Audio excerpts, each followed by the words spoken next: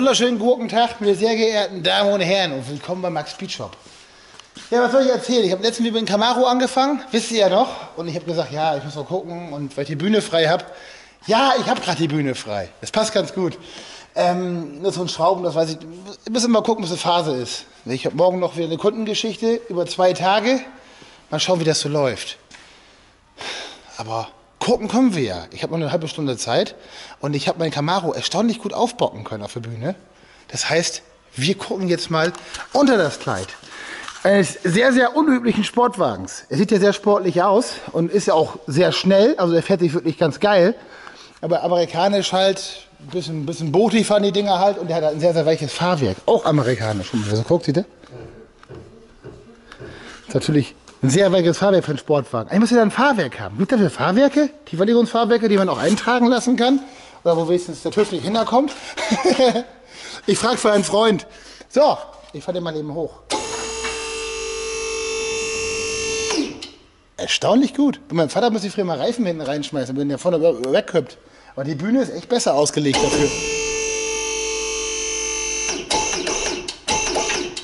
Sieht gut aus. Eines der schwersten Autos. Ich glaube, der hat 2,2 Tonnen oder so was. So, hoch mit den Klaus. Was hat der Camaro von unten? Kannst du den wegschmeißen oder? Weil ich würde ihn gerne mal tüften. Hat den schon so lange.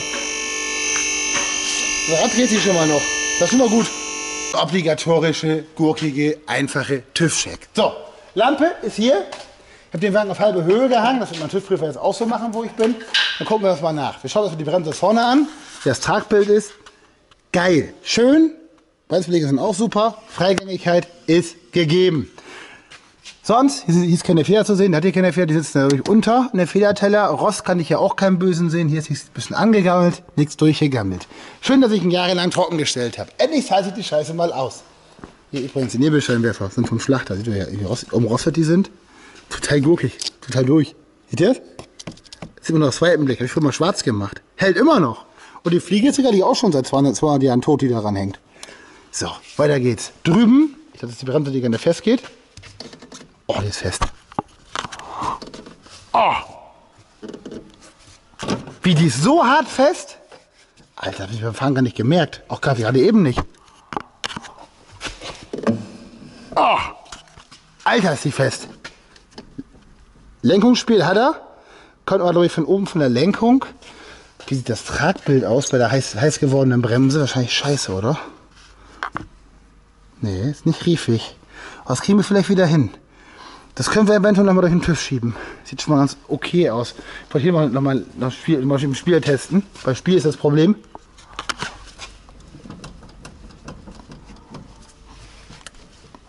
Also eben wird es ausgeschlagen. Muss mal gucken, woran das liegt. Aber es sieht nicht so aus, als wäre es hier am Spur, sondern irgendwo weiter drin. Hier kommt das Fett bei Gurken. Je nachdem, man kann die Achse abschmieren von dem Auto. Also Bremse schon mal sehr, sehr fest. Reifen sind gut, sind von 2010, sind elf Jahre alt. Ich habe die mal von so einem 7er BMW. Ich habe einen 7er BMW, also habe die Reifen aus Silbertellanzeigen für 50 Euro, mit so ganz hässlichen Felgen drauf und habe die Reifen einfach hier rüberziehen lassen. Gebraucht damals. Ihr wisst ja, wer erzählt, Kohle war früher nicht so hardcore. Jetzt bin ich, ja gut, jetzt bin ich auch nicht reich, aber mir geht es jetzt besser als früher. Auch alles cool. Also der Wagen ist in ziemlich guten Zustand. Es ist für mich jetzt etwas Neues, weil ich den Wagen das letzte Mal gesehen, von unten bei Fahren in der Halle. Und bei Fahren in der Halle, wie ihr wisst, ist es dunkel, wie Sau. So, Hinterachse, Trommelbremse hinten anzubieten. Ist geil, alles wunderbar, nichts zu meckern. Ich glaube, es sind noch ein paar, ein paar Gurkenschweißungen von mir von früher nachher noch.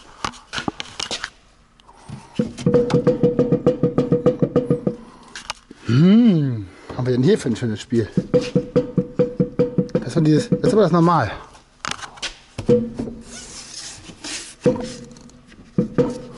Jetzt nur die Achse. Das ist das Achsspiel. Von der durchgehenden Hinterachse. Hat der K30 auch so. Und der Pontiac auch. Hier ist das, hier ist das auch so. Das ist normal. Das ist echt normal. Das, guck mich nicht so komisch an, das ist wirklich normal. Das sind, die hat, hat so eine richtig fette Hinterachse, die durchgeht. Die haben immer so ein bisschen Spiel. Der Pontiac hat das auch. Mercedes, die ich messen gehabt habe, diese komischen hier, dieser W202, hat auch gehabt. Und hat auch Schiff gekriegt damit. Also alles gut. Da, wär, da wär, muss auch, da haben wir auch keine Angst. Das ist noch kein ängstlicher Punkt. So, höher geht's. Alter, verarsch mich nicht, Camaro. Sei besser, als ich denke. Bitte, bitte. Ich hab keinen Bock, da so viel Arbeit reinzupuppen. Ich will hier wieder fahren.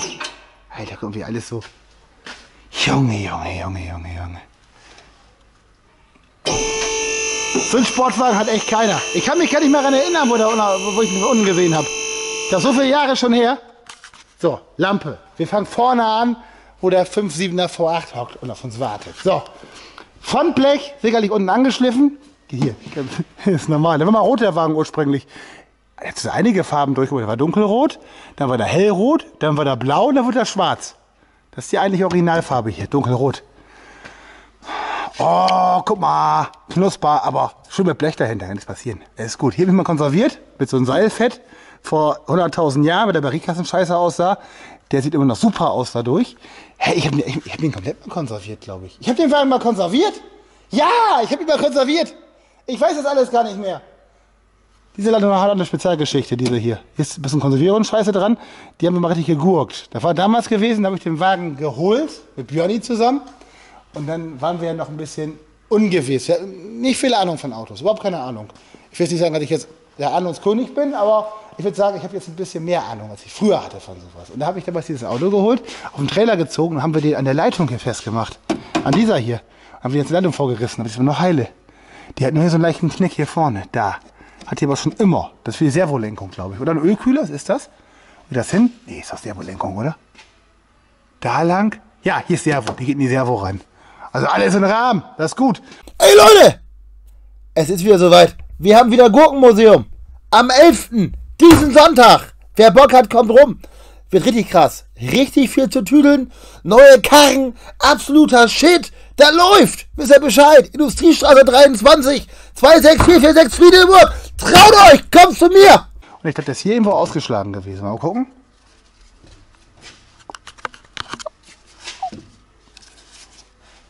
Dann geht ihr mal hier hin.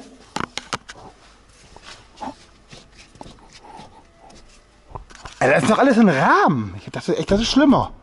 Ich dachte echt, das ist schlimmer. Das geht noch alles. Das ist vollkommen in Ordnung. Für amerikanische Verhältnisse ist das neuwertig.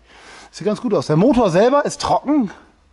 Leicht, leichter Ölfilm dran, aber der kann auch nicht siffen. Der ist 20 wie 50 drauf. Was soll denn daran siffen? Hier ist noch ein bisschen Öl. Ja, doch ein bisschen Öl hat er schon. Getriebe ist aber trocken. Getriebeölwanne ist trocken, das ist gut. Hier hängt noch ein Stock drin. Wieso hängt hier ein scheiß Stock drin? Obwohl ich bin aber, ich habe mal so ein paar Donuts gedreht auf dem Feld bei Vater. Daran lag das gewesen. Raus damit. Weg mit dem Stock. Oh, keine Sau. So. Ein Stock. Das ist gut. Das ist ein Stock. Oh, der ist durchgerostet. Guck mal. Das war früher nicht durch. Das war früher nicht durch gewesen, das Stück hier. Das habe ich früher mal irgendwie beigegurkt. Mit der Zange wäre gerade gebogen, was total schief war, weil man eine Bühne angesetzt hat. Hier ist die Wagenheberaufnahme und hat einer vor mir, nicht ich, nein, vor mir, angesetzt. Und hier ist der Wagen durch. Seht ihr? Das heißt, er muss ein Blech kriegen, was hier den Winkel abnimmt bis ungefähr hier.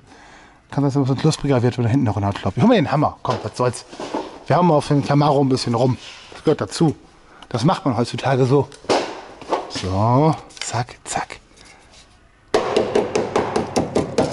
Hier ist das schlecht, seht ihr? Da, Bodenblech geht noch.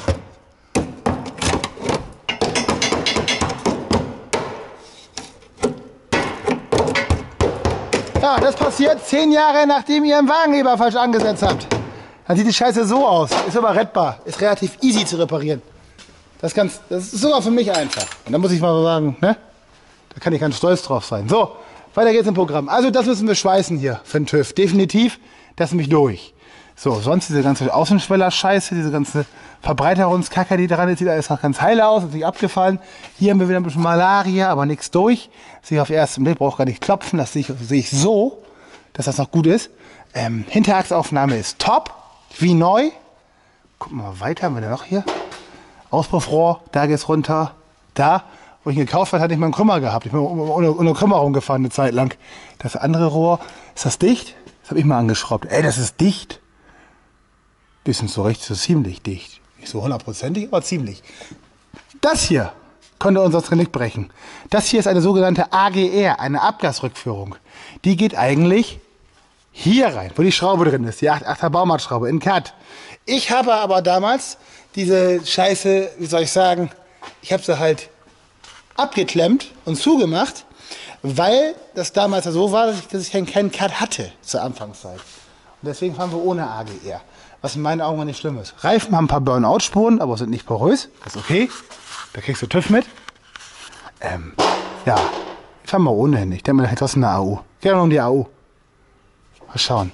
Sonst hier ist der Cut, hier bläst er raus, hier ist der undicht, das sieht ihr sofort auf den ersten Blick. Das müssen wir irgendwie dicht gurken. Mal gucken wie. Wahrscheinlich mit einem Schweißgerät. So, hier ist zugegurkt. Da ist der Cut dicht. Hier ist der Auspuff undicht. Guck mal, der ist kaputt. Der hat aufgesetzt. Wisst ihr, wo der aufgesetzt hat? Am Kanalweg an meiner alten Halle. Da. Das ist Kanalwegspur. Original Kanalweg. Immer aufgesetzt, ein Auspuff. Deswegen ist er hier undicht. Jetzt mal ein kleines Blech drauf, fertig ist. Schnell repariert. Kein Problem. Also zwei Schweißarbeiten haben wir schon mal gefunden. Drei Schweißarbeiten mit den Schellen vorne. Ne? Und diese Scheiße hier. Das hier könnte auch noch ein bisschen Malaria. Ja, also wenn wir hier anfangen zu schweißen, sollten wir auf jeden Fall einen Hammer mitnehmen. Aber der Zustand geht eigentlich noch nicht. Ich habe ihn echt schlecht in Erinnerung. Wieso habe ich ihn so schlecht in Erinnerung? Der ist eigentlich für meine Verhältnisse, weil ich so im Kopf ist gut. Guck mal hier sogar, sogar nagelneuer Purolator Ölfilter. Hat man noch einen Ölfilter eingebaut. Ich? Neuen Ölfilter. Junge. Oh, hier ist er auch weg. Oh, guck mal. Oh, nee. Das ist scheiße. Das gefällt mir gar nicht. Hier ist er weg. Da ist er knusprig. Heißt, der Auspuff muss ab. I, Auspuff abschrauben. I. Das heißt, wir könnten rein und den Cut ranlassen, könnten ab hier lösen, mit der komischen Schelle, die habe ich mal nachbesorgt irgendwann. Müssen die Schrauben hier im Krümmer lösen, die und die. Und die beiden, die müssen eigentlich abgehen, die habe ich auch schon mal abgehabt damals.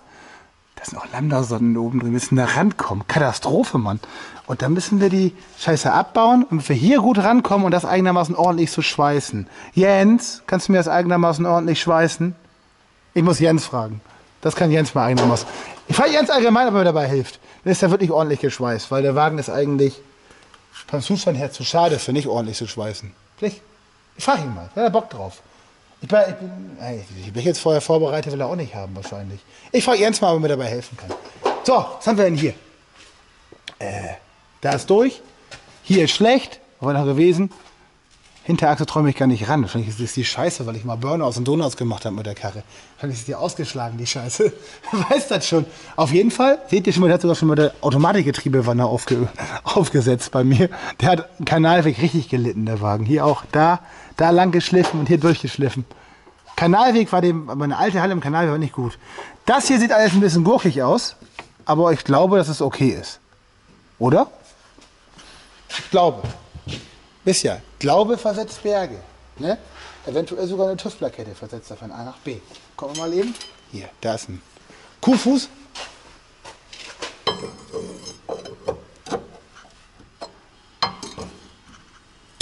Ja, Glaube versetzt Berge. Mein Glaube ist richtig. Sieht gut aus.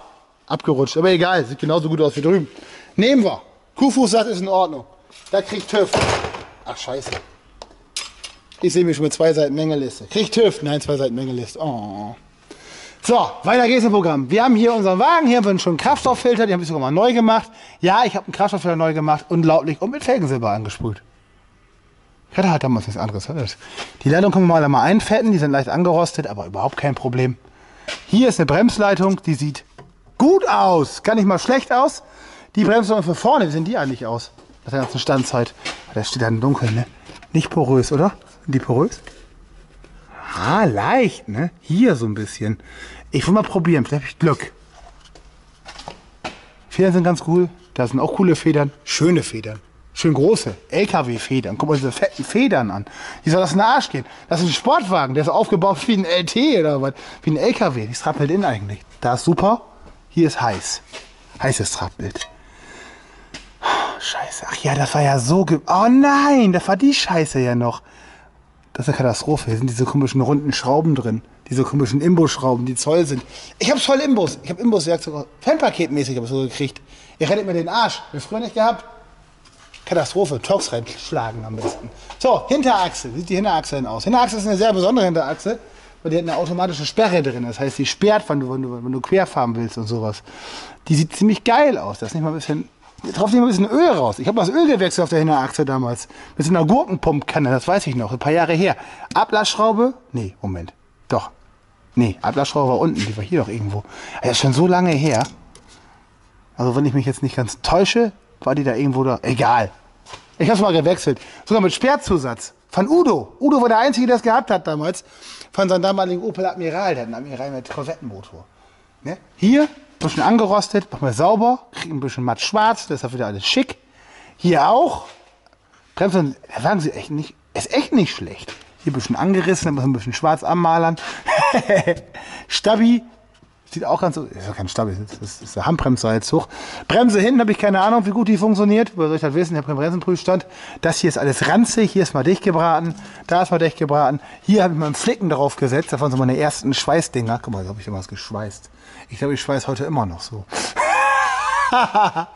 Aber es ist mittlerweile zu einem einzigen Klumpen gerostet. Also alles im grünen Bereich. Dieser Schalldämpfer ist übrigens scheiße teuer. Den kriegst du nicht an jeder Ecke. Sonst Heckblech, supi. Nur ein bisschen Malaria. Och du Scheiße. Bisschen Malaria.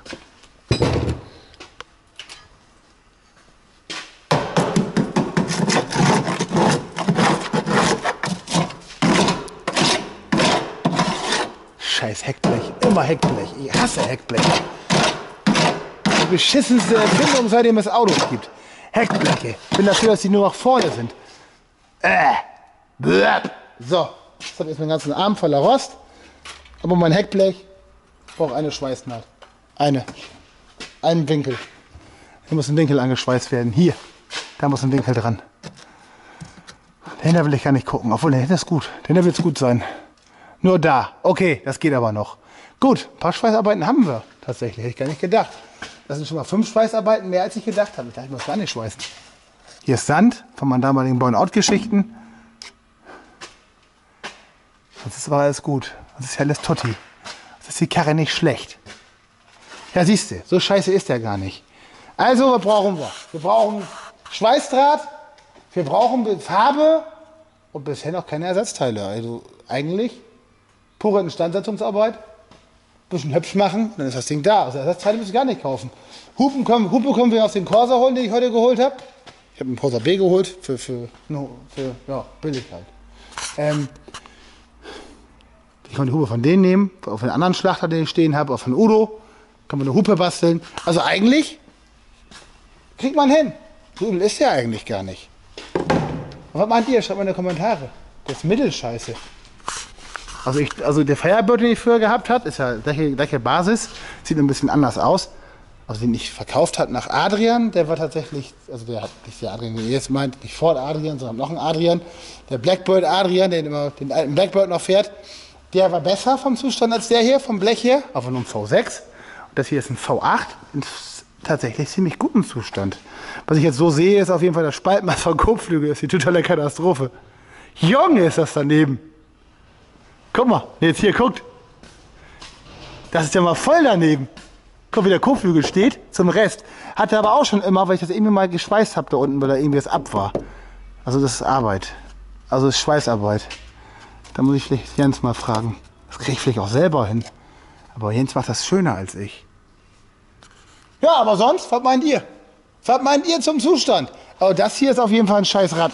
So kann man natürlich nicht fahren, das Rad fest ist, ne? Aber so hart fest will ich das nicht in Erinnerung. Beziehungsweise so hart fest hat es auch nicht gefahren. Vom Gefühl her, wo ich unterwegs war damit. Ich bin damit gefahren mit dem Auto. Verrückt. Wahrscheinlich, wenn es heiß geworden ist, äh, haben wir Bremsfading gehabt, haben wir das nicht so gemerkt. Auf jeden Fall, Bremse in Lüften hier, da was tüdeln, DOT3 Bremsmöglichkeit brauchen wir noch. Der kein DOT4, sondern DOT3, für die Amis das immer so fahren. Und, aber sonst ist der eigentlich gar nicht mal kacke. Echt nicht kacke.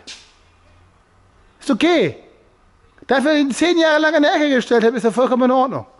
Wenn ich ihn zehn Jahre lang in den Garten gestellt hätte, wäre er wahrscheinlich schon lange tot. Also viel Kosmetik, viel Arbeit, viel Optik, aber nachher mal einen richtig schicken iWalk Sie stehen. Einen richtig guten iWalk Sie, mit dem wir schon Scheiße bauen können.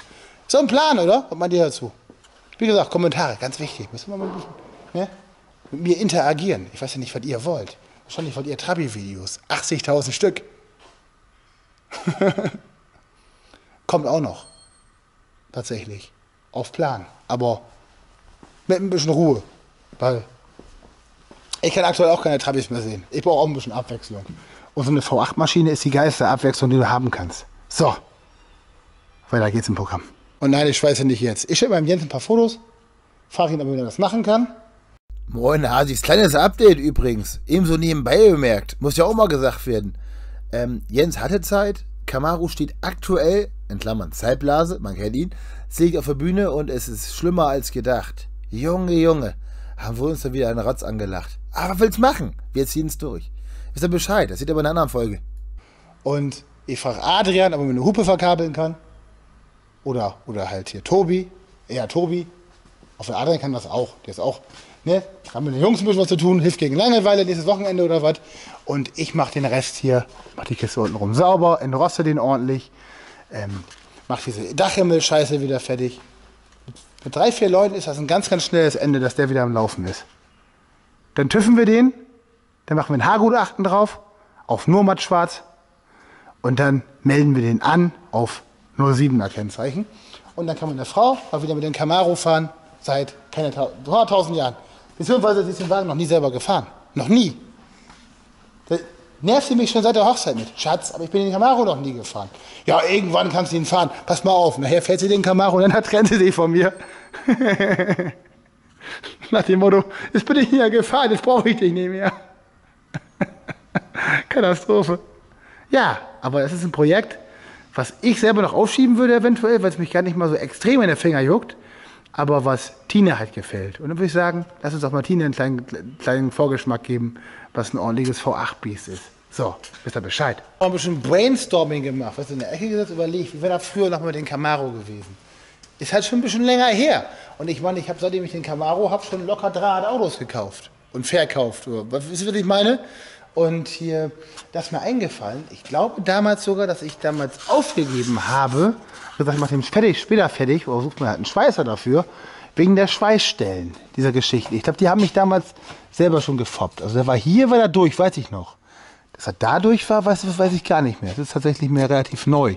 Oder es ist relativ neu entstanden. Ich meine, der Ross ist ja nicht gestoppt, der macht ja weiter, auch wenn das Ding trocken steht. Aber nur nicht halt so hart.